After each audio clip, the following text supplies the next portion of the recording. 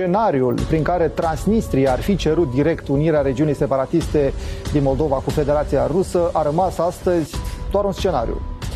Un așa numit congres al așa numitor uh, deputați din regiunea separatistă a cerut ajutor, dar nu doar de la Federația Rusă, ci și de la ONU, CSI, OSCE, chiar și UE.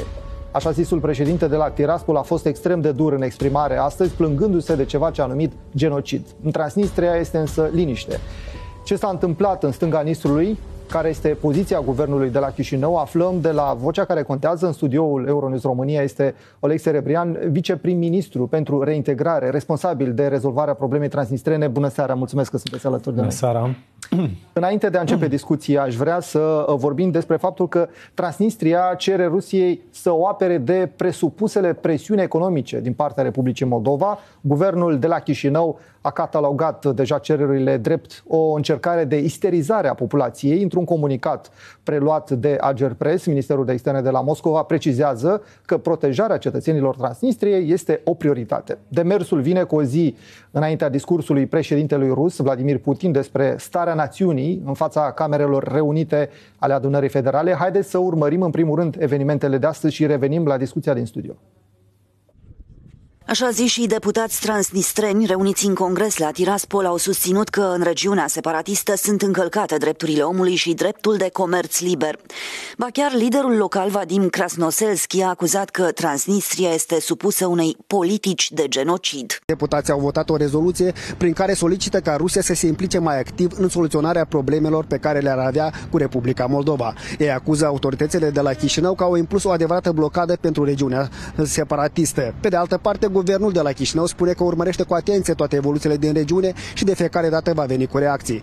Mai mult, autoritățile moldovene acuză Federația Rusă de implicarea în treburile interne ale Republicii Moldova și de încercare de a o dezbate de la drumul său de integrare europeană. Acest eveniment uh, de la Tiraspol, uh, acest pretins uh, congres și revendicările, discuțiile care vor avea loc, evident că sunt dirijate de către cei care sunt din stânga Nistrului, dar și cei de la Kremlin, anume cu intenția de a crea acest val și această isterie, inclusiv uh, mediatică, pe care am remarcat-o. Nemulțumirea principală a Tiraspolului este că de la 1 ianuarie trebuie să achite taxe vamale la bugetul Republicii Moldova.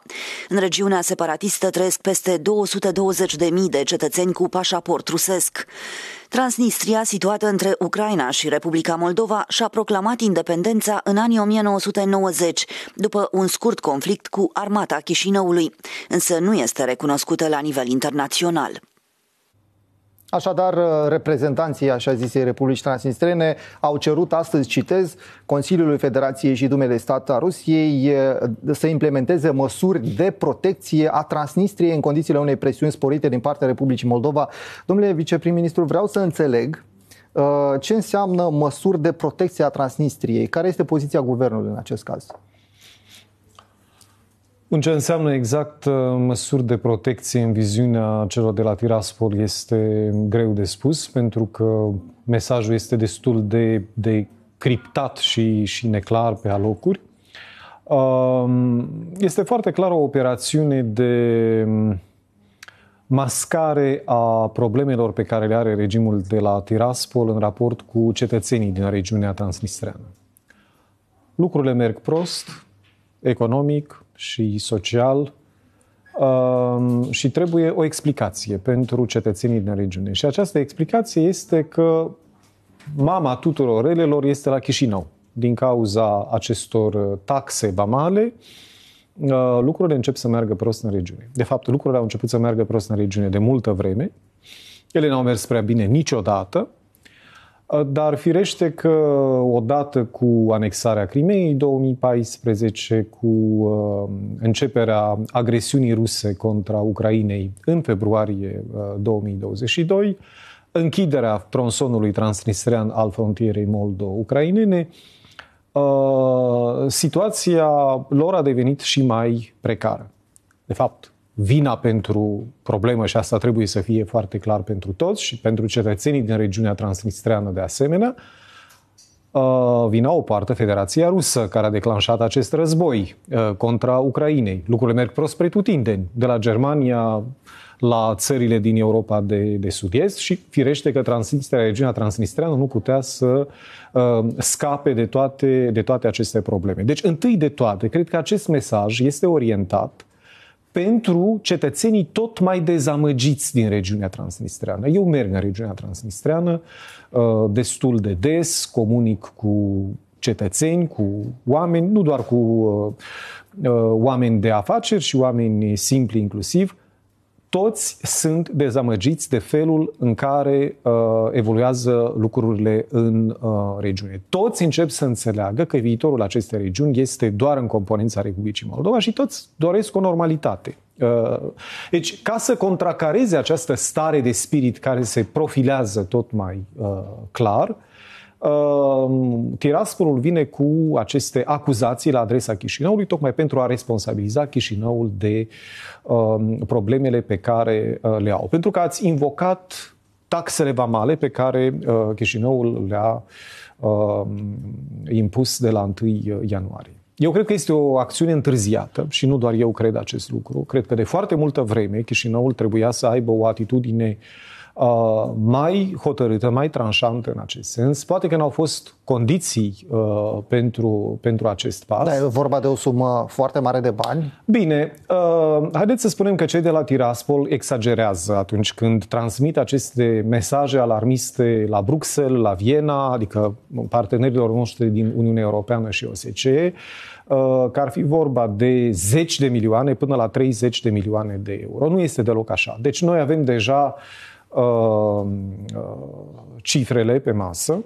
Și uh, care, Primele două e, luni da? ale anului a fost vorba de cam 20 de milioane de lei, ceea ce înseamnă 10,5 milioane, pardon, 1, uh, 1 milioane de euro, 1,05 milioane de euro. În jur de un milion de euro taxe vamale din exporturile Din exporturile și, da, importurile. Uh, Uh, de operațiunile de, de comerț uh, exterior pe care le are această regiune. Asta care înseamnă se fac că dacă extrapolăm... Cu Uniunea Europeană, cu România inclusiv, cu... Care se fac în mare parte cu Uniunea Europeană. Cam 70%. Deci din... nu cu Rusia. Și cu Rusia se fac, dar mult mai puțin. Mult mai puțin. Adică Rusia nu mai este un partener uh, extern foarte relevant pentru regiunea transnistreană. Uh, cel mai important produs importat este firește gazul uh, natural, dacă să-l uh, să, să luăm în, uh, în calcul asta. Însă Rusia nu mai este un partener economic cheie pentru regiunea transnistreană, nici măcar la nivelul, la nivelul investițiilor. Deci, grosomodo, Uniunea Europeană are în jur de 70% din uh, Uh, efectivele uh, deci din, din comerțul exterior al regiunii. România, Polonia, Germania. România, apropo, uh, pentru că vorbim și de România și ne interesează, este un jucător foarte important? Adică un România este în primii 10 parteneri comerciali ai regiunii. Noi ne bucurăm de acest lucru pentru că cu cât mai mult regiunea transnistreană este legată nu doar de România, de Uniunea Europeană în general și de Republica Moldova, pe noi ne avantajează asta. Asta înseamnă că regiunea vine mai aproape și de Europa și de noi. În condițiile în care Republica Moldova este stat candidat pentru aderare la Uniunea Europeană, o legătură mai strânsă a regiunii transnistrene cu piața europeană, cu Republica Moldova, firește că este un lucru care, care, ne, uh, care ne avantajează. Da, uh, vorbim de Federația Rusă și a fost o coincidență sau nu, ne spuneți dumneavoastră, faptul că mâine, 29 februarie, președintele rus Vladimir Putin va avea o adresare anuală în fața adunării federale. Care sunt șansele ca mâine să-l auzim pe Vladimir Putin spunând într-o formă sau alta, adresându-se autorităților din Federația Rusă, vrem să anexăm Transnistria? Nu, nu cred că va spune acest lucru. Uh, nici nu s-a cerut și de altminteri am fost destul de uh, calme atunci când au apărut aceste, aceste speculații. Am încercat să calmăm și, și opinia publică și presa, presa internațională și în România inclusiv. Nu am fost întotdeauna auziți. Poate că aceste mesaje alarmiste erau mai interesante. Uh, Iată că sunteți aici pentru a ne lămuri. Da. Da. Uh, în orice caz. Uh, foarte posibil ca mâine Vladimir Putin să menționeze, printre altele, și regiunea transnistreană. Nu exclud acest lucru. Foarte posibil ca el, așa cum a făcut-o recent și Lavrov, să menționeze cei 200 de mii de cetățeni uh, ruși din regiunea transnistreană. Vreau să fac aici o paranteză, ca Vă să rog, fie e foarte important. clar. Da. 90% din cetățenii regiunii transnistrene sunt cetățeni ai Republicii Moldova. Deci asta este un lucru extraordinar, foarte important. Um, procesul de solicitare a cetățeniei moldovenești s-a accelerat după 24 februarie 2022. Este clar de ce. Uh, în regiunea transnistreană, ca și în întreg teritoriul Republicii Moldova, este permisă multipla cetățenie. Deci foarte mulți au pașaport ucrainean, cum are și domnul uh, Ignatiev, uh, Ministrul de omologul externe, așa meu, numitul așa numitul ministru ministru de de externe, Da. Uh, omologul meu, negociatorul uh, șef din partea, din partea Tiraspolului în procesul de negocieri cu Chișinăul. Uh, sunt foarte mulți cetățeni ai Federației Ruse, cetățeni polonezi, cetățeni bulgari, mai, mai puțini, cetățeni români. uh, de Au cetățenie asemenea. română mulți? Sunt destul de mulți. Nu pot Există să dau o o estimare? cifră, dar cred că ar fi până în 10.000, probabil că mai mult decât cetățeni bulgari. Totuși, cetățenii bulgari, preponderent, sunt concentrați în uh, Comuna Parcani, una dintre cele mai mari localități din Republica Moldova, cam 10.000 de locuitori, da. care sunt preponderent uh, bulgari. Deci, de aici vine că mulți sunt nedumeriți cum pot fi 200 de mii de cetățeni ruși și 300 și ceva de mii de cetățeni uh, moldoveni, când populația, estimativ, populația regiunii transnistrene nu se ridică acum la 350 de mii de, de locuitori. Deci asta este explicația că mulți poartă în buzunar câte trei pașapoarte, au câte trei cetățenii. Deci, revenind la discursul pe care îl va avea uh, mâine președintele uh, rus, nu exclud că se va referi inter alia și la uh, regiunea transnistreană, că va scăpa o lacrimă pentru uh, suferințele pe care le-ar avea uh, cetățenii din această, din această regiune. Uh, dar în orice caz uh, nu cred că există șanse să spună că Federația Rusă uh, acceptă regiunea transnistreană sau recunoaște independența regiunii transnistrene, pentru că, apropo, foarte multă lume nu știa că independența lor, proclamată, cum s-a spus, acum uh, 30 și de ani, uh, n-a fost recunoscută de, de nimeni până în momentul de, de față. Nici o țară din lumea Nici o aceasta țară, nu nici chiar recunoaște. Federația Rusă nu recunoaște Nici măcar Federația Rusă, da. independența regiunii. Și totuși există deja niște reacții de la Moscova. Am văzut deputatul Zatulin vorbea despre faptul că va fi examinată această solicitare de ajutor de către Duma de Stat, Consiliul Dumei. A venit și o reacție din partea Mariei Zaharova, care vorbește despre apărarea intereselor locuitorilor din Transnistria, concetățenii noștri, spune Maria Zaharova, una dintre prioritățile noastre. Uh, și spune că solicitările sunt întotdeauna examinate cu atenție către agențiile specializate rusești, ceea ce înseamnă că au fost mai multe solicitări. Au fost, ele sunt constant. Nu e ceva nou. Deci doar cine nu urmărește dosarul transnistrean și imaginează că s-a întâmplat ceva ieșit din comun. În realitate, dacă luăm aceste adresări ale lui uh, Putin către națiune, au loc în fiecare an și în fiecare an cam în această perioadă. Um, în toate adresările lor, începând cu 1992, sau în majoritate, să zicem că în toate adresările astea, figurează până la urmă compatrioții, cum sunt numiți ei, din afara hotarelor Federației Ruse și problemele cu care s-ar confrunta în diferite țări, inclusiv în uh, regiunea transnistreană, Republica Moldova sau în, regiune, în Republica Moldova în general. Ba apare problema limbii în anumite țări, ba problema școlilor. În cazul dat, sigur, va fi, s-ar putea să fie o îngrijorare legată de situația umanitară uh, în regiunea A, transnistreană. de mâncare uh, există, nu e, nu e o penurie, nu există nu este. probleme Asta de spun gaz, și de partenerilor energie. noștri externi. Republica Moldova, Chișinăul, nu este în niciun caz interesat să provoace o criză socială sau umanitară în această regiune. Sunt cetățenii noștri, temporar aflați uh, mă rog, sub autoritatea nelegitimă a acestui, uh, acestui uh, regim, uh, care se intitulează cum se intitulează, auto-intitulează, dar în orice, în orice caz, uh, dacă luăm uh, cifra de afaceri, exporturile, în ultimii ani volumul exporturilor a crescut. Deci nu putem vorbi, operațiunile de export-import cresc. Deci asta demonstrează că Republica Moldova permite, uh, accesul există. Că vrem să controlăm ce se aduce sau ce se exportă, este altceva. Sigur da, că... Dar vorbeați despre anumite probleme. În ce constau aceste probleme, ca să înțelegem și noi, pentru cetățenii de acolo? Bun, eu pot să vă explic, să vă dau câteva exemple ca să înțelegeți. Anul trecut uh, au fost foarte multe discuții legate de produsele farmaceutice și produsele fitosanitare în regiunea transnistreană.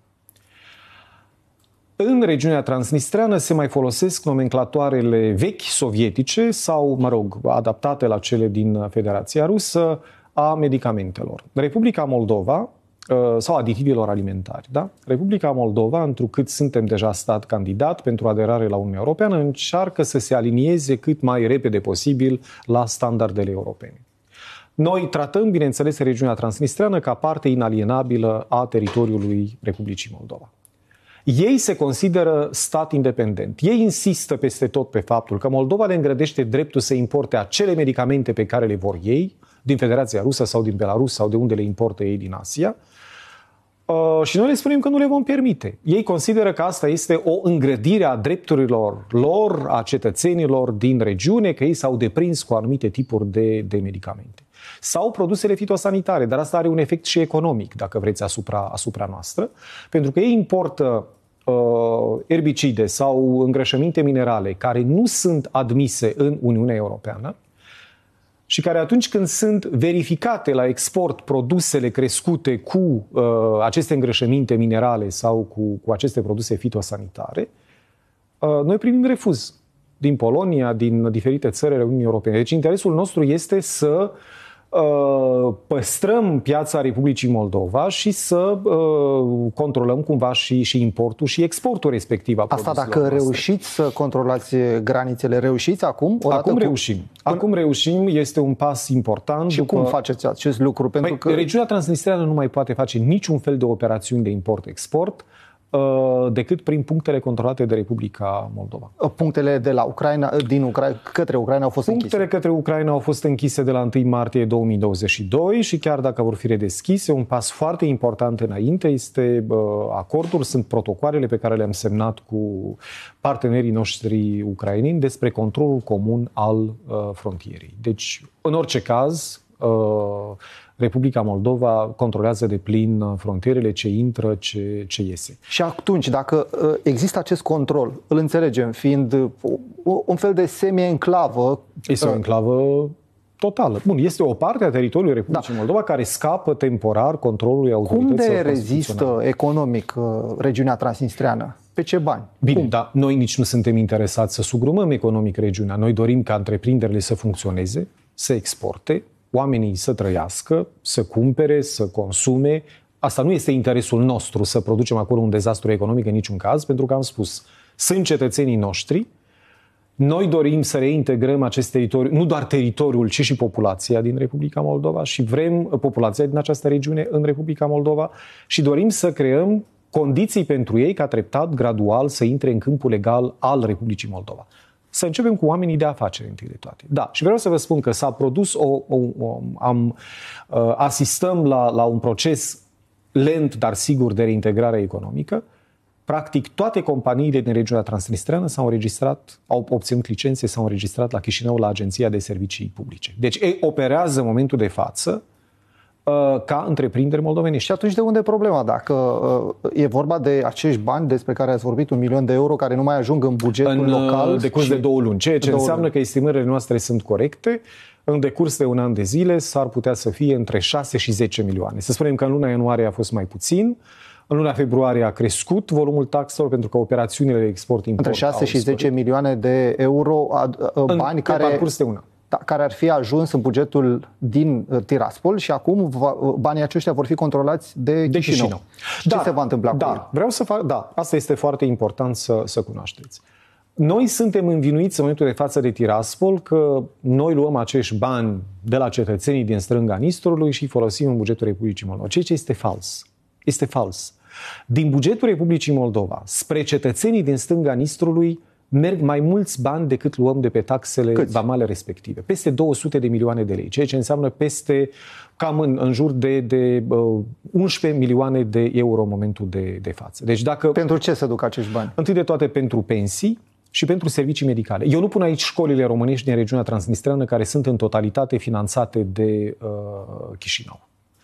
Uh, nu le punem în calcul. Le uh, punem doar pensiile și doar serviciile medicale, uh, bursele pe care le obțin tinerii din regiunea transnistreană care își fac studii în partea dreaptă a Nistrului, la Chișinău. Sute de tineri beneficiază de burse de stat din partea Republicii. Regimul de la uh, Tiraspol ce ar face cu uh, cele 6 milioane de euro? Regimul de la Tiraspol, dacă are probleme cu bugetul, ar trebui să-și revadă cheltuielile pentru miliție, pentru securitate și pentru armată. Și am sfătuit de foarte multe ori acest lucru. Cheltuielile militare sau de securitate ale acestei regiuni sunt exagerate. Regiunea transnistreană este probabil printre zonele după Königsberg, probabil că cea mai militarizată zonă în momentul de față Aveți din și o Europa. estimare a unui buget?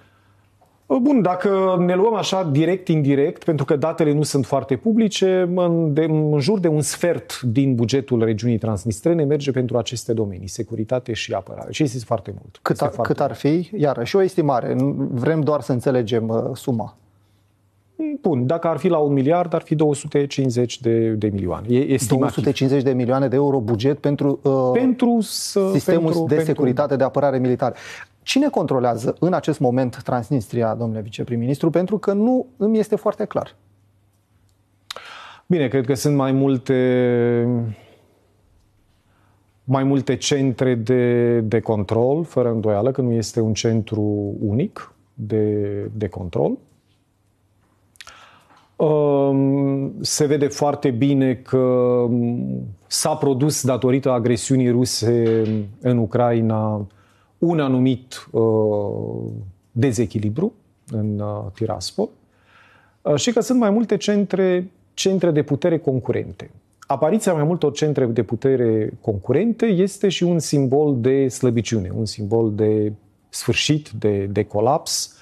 Uh, Da, uh, greu de spus. Cu certitudine nu există un singur centru de putere care. Impresia care poate de aici, fi- de la București sau din cancelariile occidentale, mă rog, cel puțin din ceea ce vorbesc eu în presă, este că Federația Rusă controlează. Dumneavoastră îmi spuneți că nu pe deplin, că există chiar o coliziune cu anumite centre de putere locală.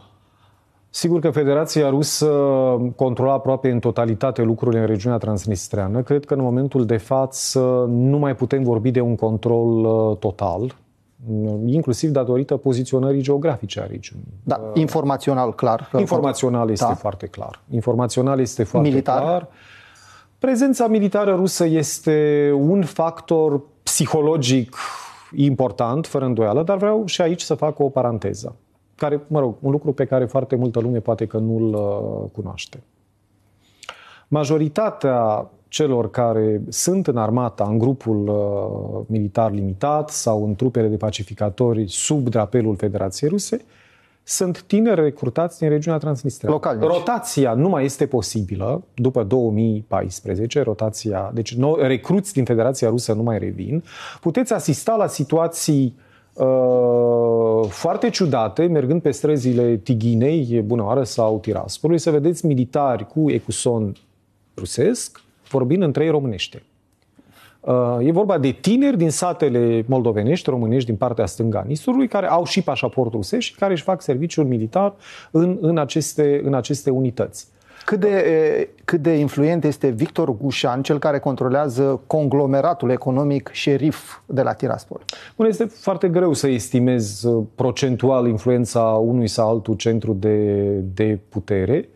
Sunt tot felul de alegații referitor la diversele centre de putere din, uh, din regiunea uh, transnistreană. Uh, Dacă este exagerată sau nu uh, puterea lui, îmi vine greu să spun. Dacă, așa cum scrie uneori presa, inclusiv de la Chișinău, că el intră în coliziune sau interesele lui ar intra în coliziune cu cele ale Federației Ruse, iarăși nu mă apuc să, să fac, să, dau, să mă dau cu părerea uh, la capitolul uh, respectiv. Nu dețin astfel de informații operative, să, să Da, din moment ce are atâtea magazine, benzinării, clubul de fotbal, șerif. Da. uh, Fără îndoială că este un, o persoană foarte influentă, adică nu, dar Care este, cât de mult controlează și cât de mult decide în momentul de față, îmi vine foarte greu să, să, să spun.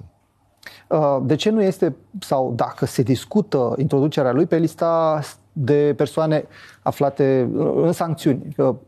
Dacă poate fi interzis, pentru că din ce înțeleg, nu se află neapărat pe teritoriul uh, zonei separatiste Transnistria. Din câte cunoaștem, are mai multe uh, cetățenii.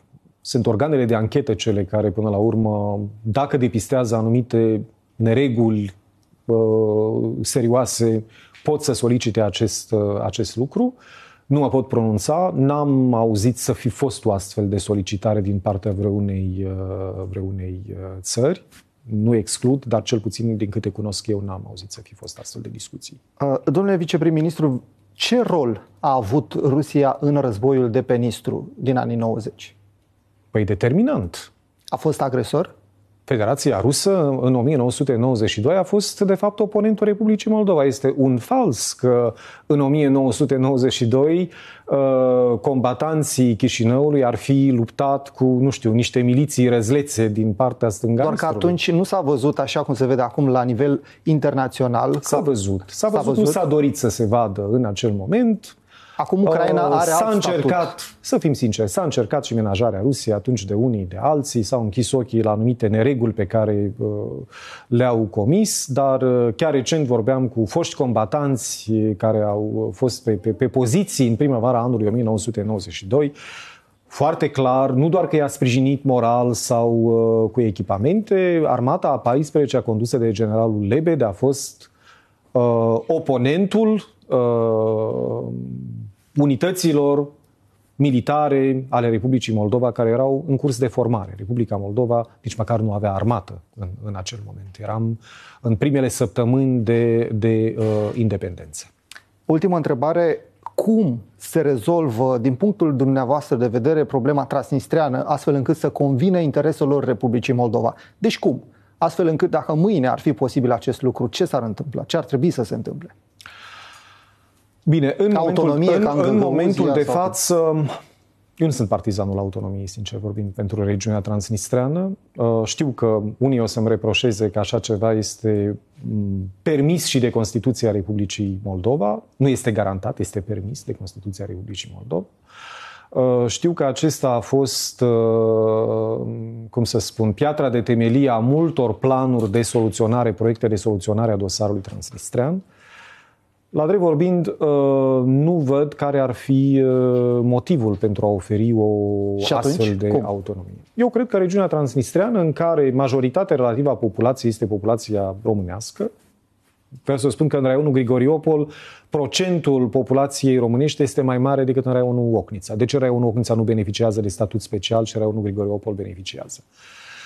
E o parte integrantă a Republicii uh, Moldova. Da, poate fi o perioadă tranzitorie, poate fi o perioadă tranzitorie. Noi credem, eu cred că noi trebuie să mergem pe formula reintegrării graduale și cred că tactica trebuie să fie integrarea economică întâi. Începem cu, cum am început?